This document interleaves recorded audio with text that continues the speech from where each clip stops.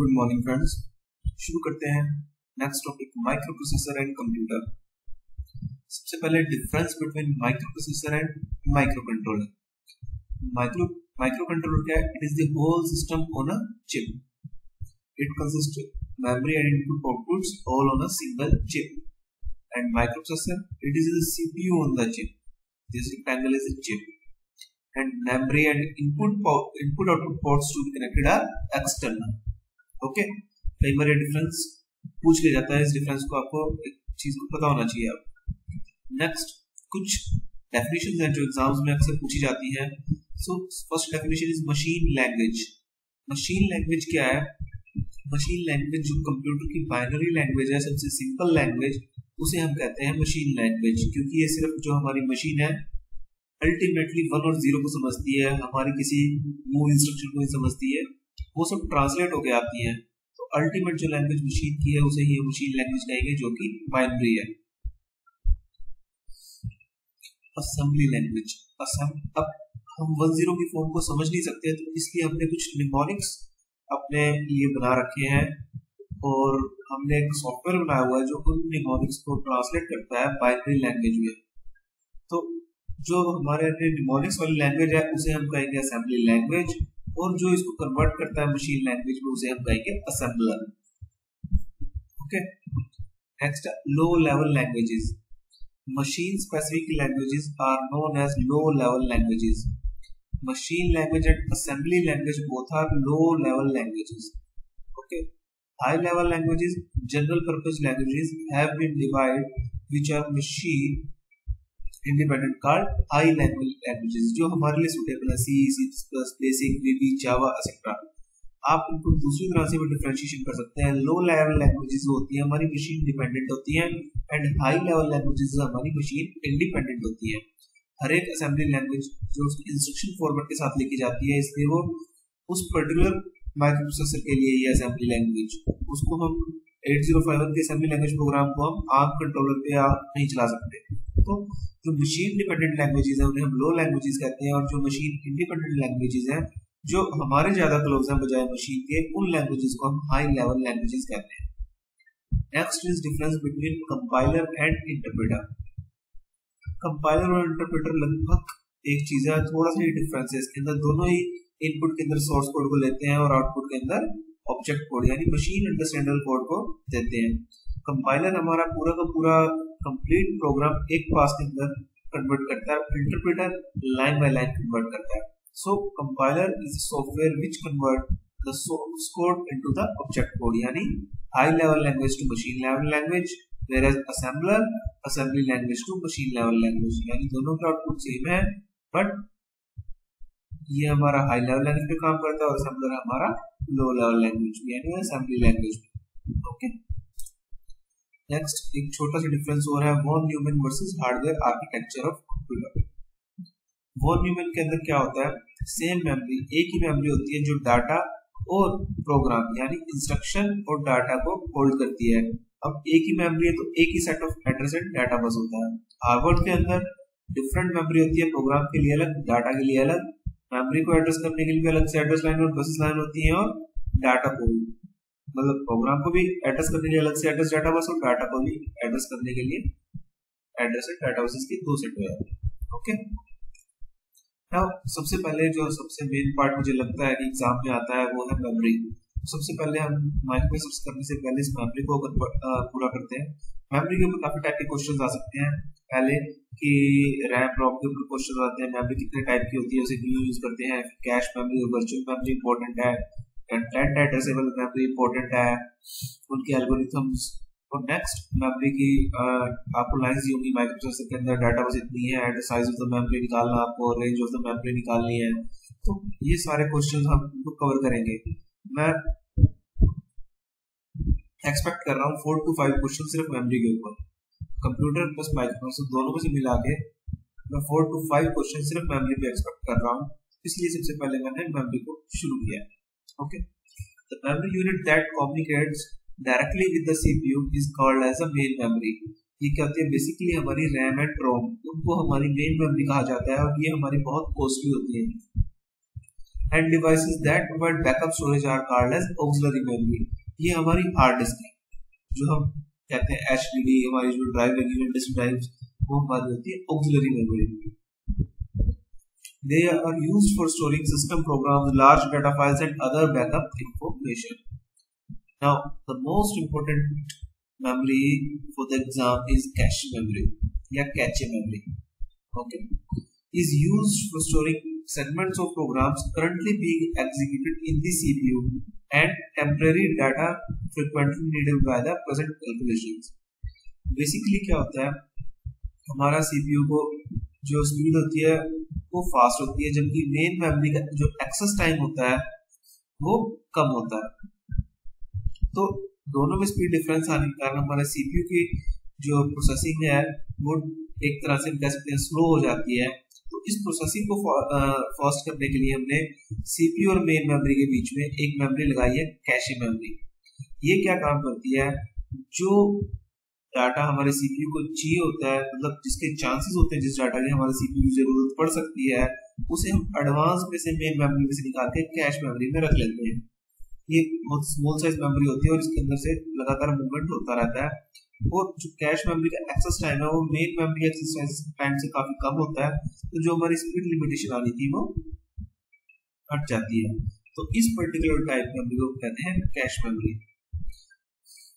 Okay इसका access time कैसे निकालते हैं? ये अभी मैं आपका इसका ये फॉर्मूला है hit ratio into cache access time plus one minus hit ratio into में मेन मेमोरी एक्सेस टाइम अब ये हिट रेशियो क्या होती है?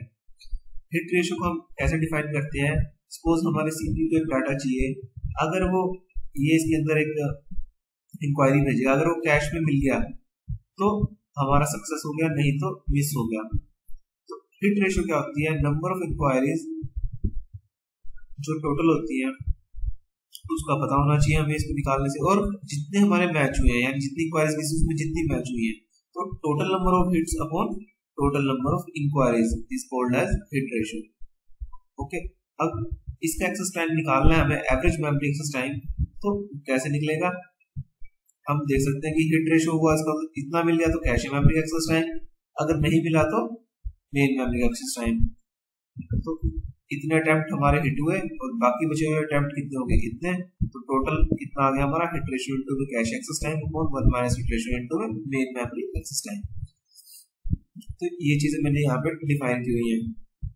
ओके अब बेसिक ऑपरेशन कैसे है क्या होता है ये मैं आपको बता चुका हूँ when the CPU needs to access memory the cache is examined if word is found in the cache it is read from the fast memory If word addressed by the CPU is not found in the cache, the main memory is accessed to read the word. Now, जब भी हमारी main memory access होगी word को read करने के लिए वो सिर्फ़ वही वर्ड नहीं उठाती जो सीपीयू को चाहिए वो उसके आसपास के वर्ड ही उठा देती है ताकि अगर सीपीयू इस पे कैलकुलेशन कर रहा है तो हो सकता है कि वो उसके आसपास वाले डाटा पे भी कैलकुलेशन करे। तो इकट्ठा वो डाटा ब्लॉक में उठता है और उसको कैश मेमोरी में डाल देते हैं। अब एक टाइम पे हो सकता है कि ये जो कैश मेमोरी है हमारी फिलअप हो जाए। तो इसके अंदर से जो डाटा है, वो हमें वैकेंट करने के लिए हमारे पास दो पॉलिसीज़ होती हैं। एक first in first out and एक लास्ट रिसेंटली यूज्ड ये मैंने यहाँ पे लास्ट में वर्चुअल मेमोरी के केस के अंदर बताया, ये दोनों फीफो एंड एल आर ये वर्चुअल मेमोरी के केस में भी दोनों एल्गोरिथम सेम है और कैश मेमोरी के कैश मेमोरी में भी. तो फ़र्स्ट इन फ़र्स्ट आउट के अंदर क्या होता है? जो हमारा डाटा पहले आया था, हमसे ही दोबारा वेकेंट करेंगे. और लास्ट रिसेंटली यूज़ के अंदर कौन सा होता है? जो हमारा सबसे लास्ट में यूज़ हुआ था। मतलब जिसको यूज़ किए हुए काफ़ी यूज़ हो गए लीस्ट रिसेंटली सॉरी लास्ट में। लीस्ट रिसेंटली जो डाटा हमारा सबसे कम यूज़ हुआ है। ओके तो उसको हम निकाल देंगे। नेक्स्ट अब अपडेशन के भी काफ़ी सारे मेथड है। दो मेथड है। The simplest procedure is to update main memory with every memory write operation with cache memory being updated in parallel if it contains the word at the specified address इस method को हम कहते हैं right through method. यानी अगर cache memory में कोई update हो रहा है डाटा में तो जो जहाँ पे मेन मेमोरी में सेम डाटा पड़ा है, उसके अंदर भी कोरोस्पॉन्डिंगली चेंज रिफ्लेक्ट होगा। सेकंड मेथड क्या है? राइट बैक मेथड इसके अंदर क्या होता है कि जो आपका, अगर कैश मेमोरी में डाटा अपडेट हो रहा है, हो सकता है कि वो आगे आने वाली साइकिल्स के अंदर और ज़्यादा अपडेट होगी तो बजाय उसे उसी टाइम में इन मेमोरी में रिफ्लेक्ट करने के हम वेट करते हैं। जब उसको कैश मेमोरी से उस डाटा को हम निकाल लेंगे तो निकालने से पहले उस मेमोरी के अंदर उसको अपडेट कर देते हैं। तो दोनों के अलग अलग एडवांटेज हैं। अगर हमारा डीएमए सिस्टम लगा हुआ है और वो मेमोरी को डायरेक्ट एक्सेस कर रहा है तो हमें ये वाला सिस्टम यूज़ करना पड़ेगा राइट थ्रू मेथड अदरवाइज़ हम यूज़ कर सकते हैं write back method okay now अब आपने देखा कि हमारे सिस्टम में इतनी सारी मेमोरीज लगी हुई है memory tapes magnetic disk RAM ROM cache memory virtual memory तो इतनी सारी हियरार्कीज की हमें क्यों ज़रूरत पड़ी? टू और three levels of micro hierarchy तो इसका आंसर है as the storage capacity of memory increases the per bit for storing storing decreases and the the time of the the becomes becomes longer. जैसे जैसे हमारी storage capacity memory की बढ़ती रहेगी तो हमारी कॉस्ट तो डिक्रीज हो जाएगी बट एक्सेस टाइम उसका बढ़ जाएगा तो जो ऑक्सिलरी मेमोरी होती है large storage capacity is relatively inexpensive but has a low access speed compare to main memory so the cache memory is very small relatively expensive. Small has expensive and has a very high access speed. Thus, as the memory access speed increases, so does its relative cost. So, हमारा गोल क्या होता है using a memory is to obtain the highest possible average access speed while minimizing the total cost of the entire memory system okay next RAM हमारी दो type की होती है static RAM and dynamic RAM static RAM क्या होती है? Actually MOSFETs में नहीं होती है. इंटरनल फ्लिप फ्लॉप होता है. दैट स्टोर बाइनरी इंफॉर्मेशन ये कब तक दोनों मेमोरी हमारी वोलेटाइल है.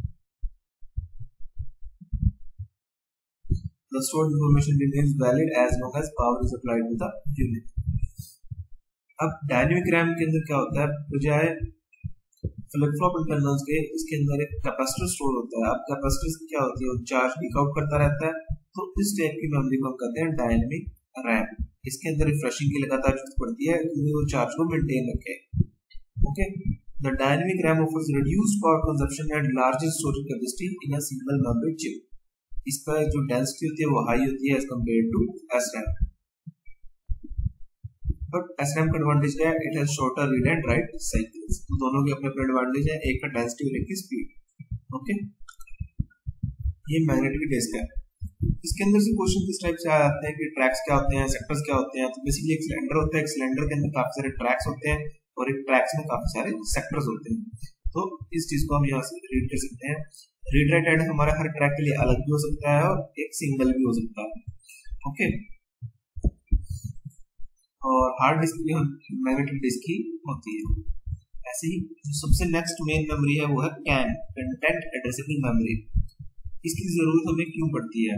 The time required to find an item stored in memory can be reduced considerably.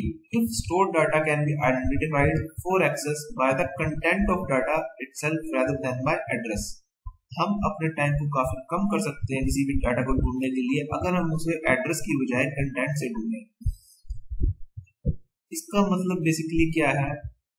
कि हम पूरी मेमोरी को पैरेलली एक्सेस करते हैं और हर लोकेशन के ऊपर एक लॉजिक सर्किट लगा होता है जो चेक करता है कि इस पॉइंट के ऊपर डाटा स्टोर है या नहीं। और उन बिट्स को वो मार्क कर देता है जहाँ पे इसको मैचिंग डाटा मिल जाता है और उनको सिक्वेंशियली रीड कर लिया जाता है बाद में। इस टाइप की मेमोरी को हम कहते हैं कंटेंट एड्रेसेबल मेमोरी और एसोसिएटेड मेमोरी मेन चीज़ इसके अंदर क्या है कि पैरेलल के अंदर ऑपरेट हो रही है। अब इसका एक्सेस टाइम बहुत कम होता है तो an associated memory is more expensive than random access memory because each cell must have storage capability as well as logic circuit so matching its content with an external argument For this reason, associative memories are used in applications where the search time is very critical. सिर्फ़ हम उसे वहाँ use करते हैं जहाँ पे हमारा search time critical होता है बहुत कम होना चाहिए। ये एक्सपेंसिव मेमोरी है।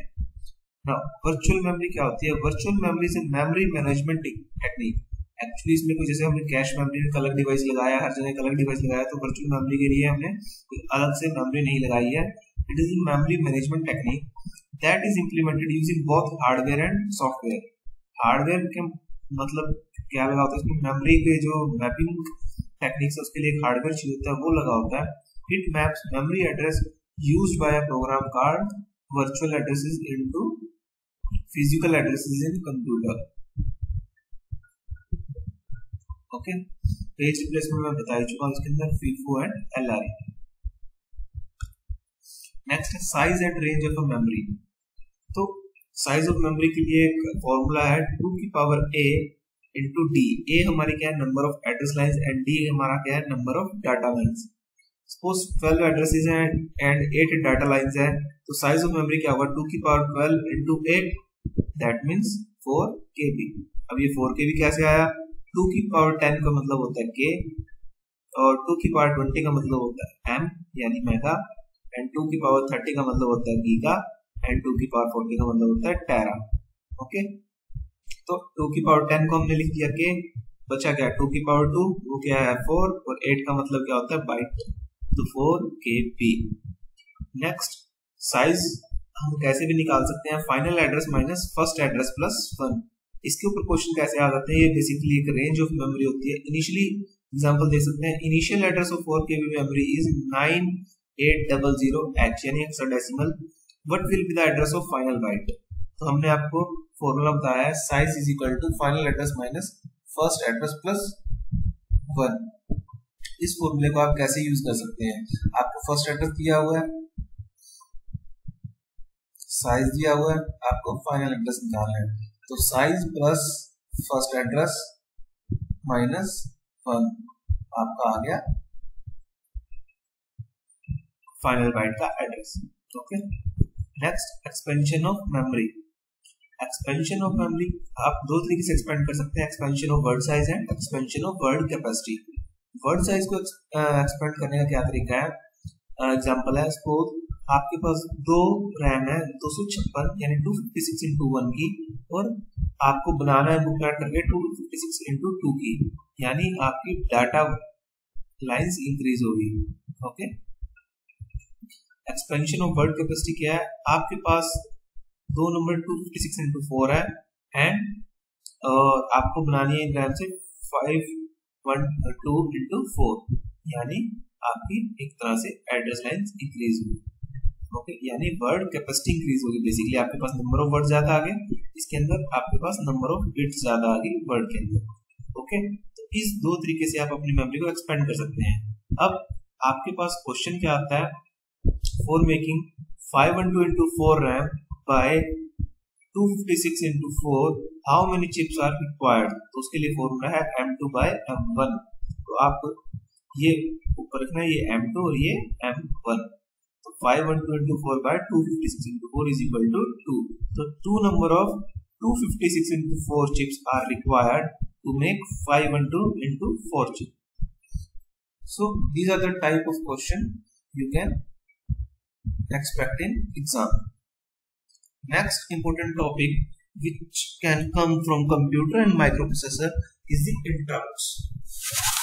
Interrupt एक बार no one is going to ask how interrupt work, but you have to learn only a single thing.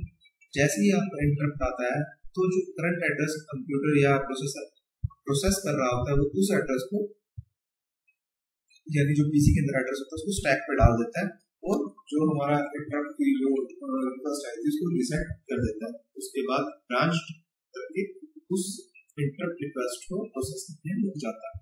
तो सिर्फ़ आपको इतना बताना चाहिए, बाकी चीज़ें आपको इसकी वर्किंग के लिए ज़रूरत नहीं है बट अब आपको जो इनकी टाइप ऑफ़ इंटरप्ट है, इनके क्या क्या कैटेगरीज है क्या क्या वेक्टर इंटरप्ट क्या होते हैं नॉन वेक्टर इंटरप्ट क्या होते हैं मास्केबल नॉन मास्केबल तो इनके ऊपर ऑब्जेक्टिव टाइप क्वेश्चंस बनते हैं।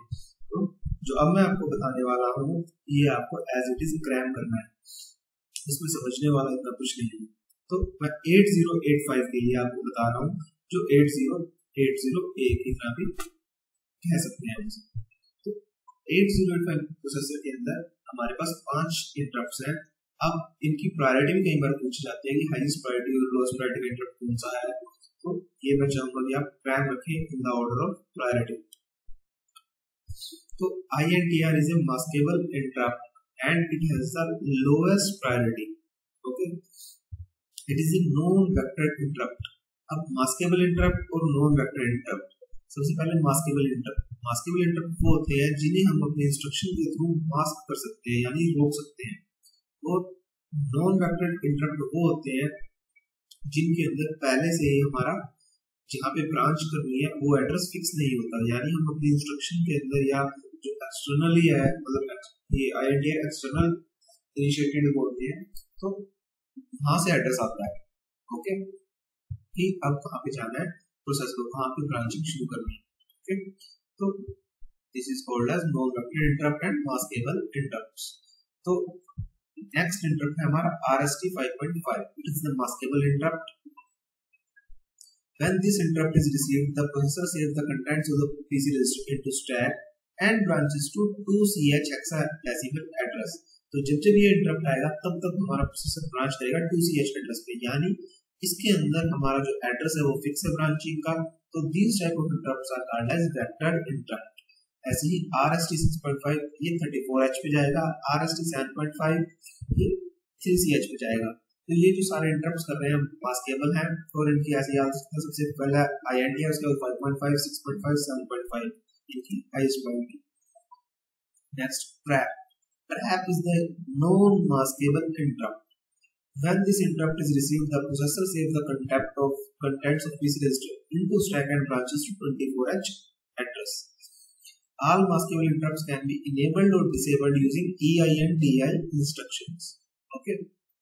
अब सिर्फ़ आपको एग्ज़ाम में ये ध्यान रखना है कि this is the non maskable interrupt so the trap is the non maskable interrupt and has the highest priority among all interrupts okay so the main interrupt is the trap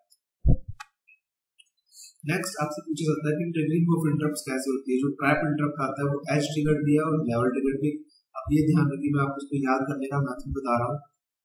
ये सब priority wise है। आपको सिर्फ़ priority याद रखनी है, बाकी सब चीज़ें आपको याद हो जाएँगी। अब सबसे लोअर प्रायोरिटी है आई एन टी आर सबसे हाईएस्ट प्रायोरिटी है ट्रैप बीच में सारे लाइन वाइज है 5.5 6.5 7.5 यानी लोएस्ट टू हाईएस्ट वैल्यू अब जिसकी हाईएस्ट प्रायोरिटी है, यानी वो सबसे पावरफुल है। वो सबसे पावरफुल है, यानी वो एच ट्रिगर्ड भी है लेवल ट्रिगर्ड भी है। उससे कम जो है, वो क्या है हमारा? सिर्फ़ एच ट्रिगर्ड और बाकी एच ट्रिगर्ड ज़्यादा बढ़िया माना जाता है। उसके बाद हमारे जितने भी है वो सारे सारे लेवल ट्रिगर्ड ओके मतलब इंटरप्ट मैं ये नहीं कह रहा कि एच ट्रिगर्ड इंटरप्ट बढ़िया माना जाता है, मैं ये कह रहा हूँ डिजिटल टेक्नोलॉजी के अंदर यूज़ करते हैं एच ट्रिगरिंग ज़्यादा बढ़िया मानी जाती है। तो उस हिसाब से मैं आपको याद करने के लिए कह रहा हूँ, जो ट्रैप है हमारा एजेंट लेवल इस ओनली एज पे प्राप्त है, हमारे लेवल के। तो trap is the non master interrupt has the highest priority ये चीज़ आपको याद रखनी है। नेक्स्ट है एड्रेसिंग मोड्स इनकी डेफिनेशंस हम अपने जब एट ज़ीरो कब समझाऊँगा तब करेंगे बट अभी आप सिर्फ़ टाइप्स याद रख सकते हैं।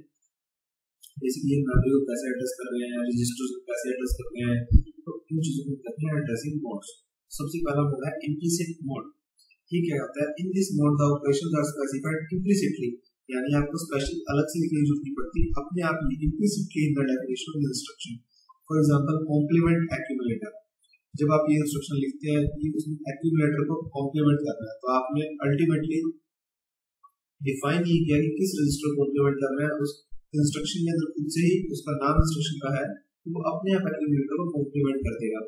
यानी implicit मोड में आपने बता दिया तो this type of addressing modes are called as implicit mode और implied मोड नेक्स्ट है immediate मोड इन मोड्स के अंदर क्या होता है? जो डाटा आपको चाहिए होता है, वो डायरेक्ट आप प्रोवाइड कर देते हैं okay operand is specified in the instruction itself and this mode is used for initializing registers to a constant value exam में क्वेश्चन आ सकता है which mode is used to initialize registers to a constant value basically हम program में सारे use कर सकते हैं but this is the main mode immediate mode register mode इसके अंदर क्या होता डाटा हमें यानी जो ऑपरेंड है, वो एक रजिस्टर के अंदर स्टोर होता है और हम उस रजिस्टर को एज ऑपरेंड स्पेसिफाई करते हैं। रजिस्टर इंडायरेक्ट मोड में क्या होता है? इसके अंदर रजिस्टर के अंदर एड्रेस गिवन होगा और उस एड्रेस के ऊपर हमारा डाटा होगा। नेक्स्ट है डायरेक्ट एड्रेस मोड जैसे ही हम, जैसे ही हम ये प्रोवाइड करते हैं इंस्ट्रक्शन में डाटा ऐसे ही हम उस डाटा का एड्रेस भी प्रोवाइड कर सकते हैं। अगर हम डाटा प्रोवाइड करते हैं तो हमने कह दिया इमीडिएट मोड और अगर हमने एड्रेस प्रोवाइड कर दिया तो हम कहते हैं डायरेक्ट एड्रेस मोड तो जो ये अभी हमने पाँच मोड दिए एट ज़ीरो एट फाइव के पाँच मोड है। अब कुछ मोड अलग से भी है। Indirect address mode relative address mode index address mode and base register addressing mode. तो ये चारों भी कई बार एग्ज़ाम में पूछ लिए जाते हैं तो ये आपको पता होना चाहिए जबकि ये एट ज़ीरो एट फाइव में यूज़ नहीं होंगे।